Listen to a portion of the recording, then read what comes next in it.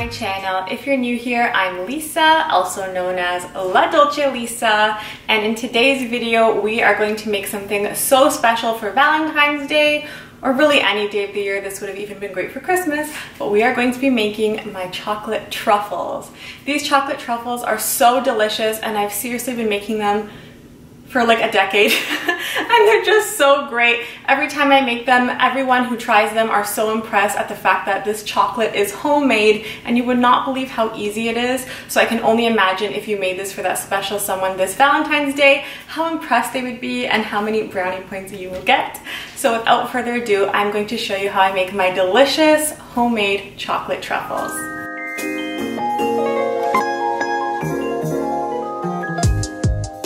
First things first, what I like to do when I make my chocolate truffles is to be sure that I have some really good chocolate. And I'm going to be using today eight ounces of semi-sweet chocolate. This is a good quality chocolate which you have to sort of cut up yourself, which I've already done. 8 ounces is basically 225 grams or so of chocolate. Be sure to use good quality chocolate and not necessarily chocolate chips. I like the brand Baker's, but you can really use any good quality brand of chocolate.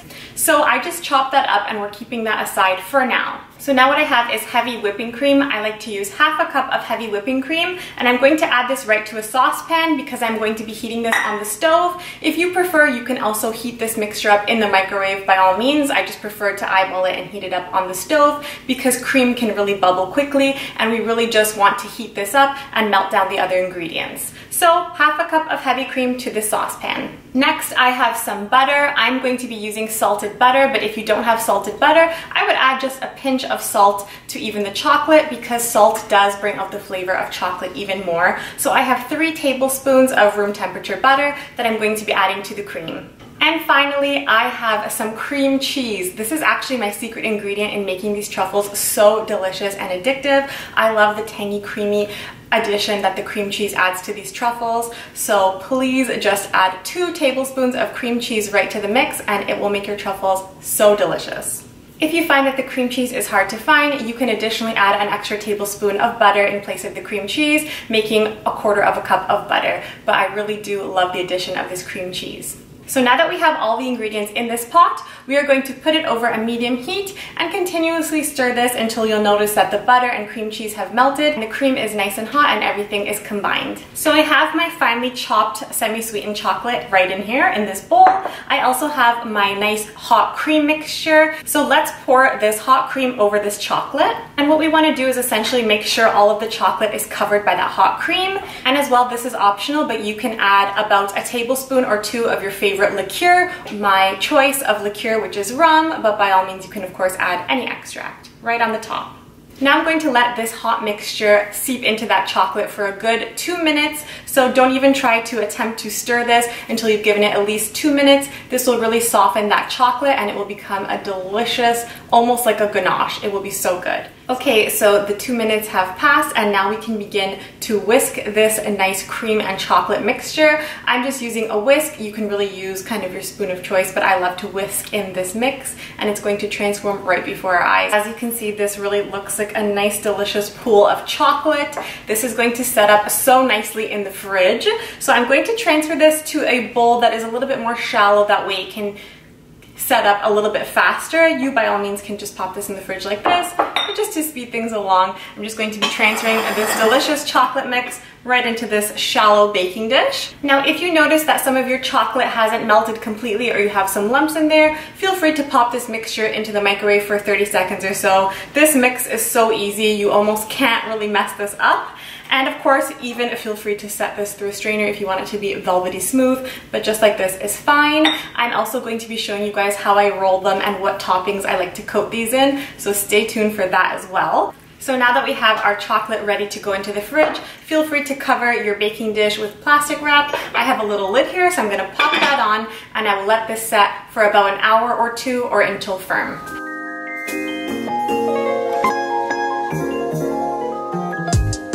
Okay, I am back. It is over an hour later. These can set in the fridge for an hour or two or even overnight until you're ready to scoop them. So now I have the chocolate here and it is quite firm now. Ta-da! you could definitely not do this before. So I'm using this little half a tablespoon scoop I'm roughly scooping this nice, delicious, firm yet soft chocolate truffle mixture and I'm taking this with a baby spatula and just placing this onto a parchment paper for now. I like to preform all of my chocolate first and then I like to roll it in the toppings. So now that I have my truffles pre-scooped onto this parchment paper, they are essentially ready to be rolled by hand. So they're gonna be hand formed and rolled and then dipped into these toppings. I have some chopped almonds. I literally just took slivered almonds and smashed them around a bit in a Ziploc bag so they're a little bit finer. I have some toasted coconut, which I lightly toasted on a pan for a couple seconds to bring up the flavor. I have some traditional cocoa powder, very simple. And I also have a couple festive red sprinkles since this is a Valentine's Day after after all. So of course with clean hands guys, you can even use gloves if you prefer, but I don't mind getting my hands dirty and these are going to my family members. We're going to roll the chocolate by hand, dip them into the ingredients, and then I'm going to be placing them in these little mini cupcake liners. Some of them are heart-shaped, some of them are flower-shaped, they're super cute. So let's start rolling. This is the messy part. Okay, so we are back after all of our rolling and hard work. How stunning do these chocolate truffles look? They're incredible. Using my little half a tablespoon scoop, more or less, ended up making 25 chocolate truffles and one extra one for me to eat. Now after you roll them, because your hands are so hot and it sort of like gets all melty and warm, I always like to keep these in the fridge at least for one hour until you're ready to serve them. So basically 20 to 30 minutes before you're ready to eat these truffles, take them out and let them come to a little bit more room temperature. They'll just slightly soften. Either way, this is such a nice, soft, creamy chocolate. I can't wait to eat this. I should technically have let this set in the fridge for at least an hour, so this might be a little bit soft soft, but oh my gosh, I can't resist and I cannot wait. So let's take my first bite of this delicious chocolate truffle. I'm going for the slivered almond flavor. Mm. Wow. Mm. So delicious. I'm almost at a loss for words.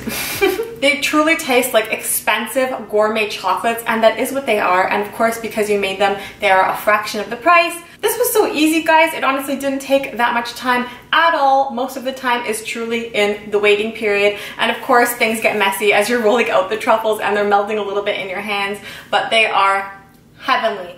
Smooth, creamy, they truly taste gourmet. So I hope you guys love this recipe and I hope that you give it a try. I will of course have the blog post for these truffles on ladolcelisa.com, so check that out as well. I'll give you a few extra tips and pictures on there, so be sure to find the link in the description to my blog. So again, thank you guys so much for watching and I'll see you in my next video. If these are for Valentine's Day, happy Valentine's Day. If not, I hope you enjoy these delicious, easy chocolate truffles. Bye guys!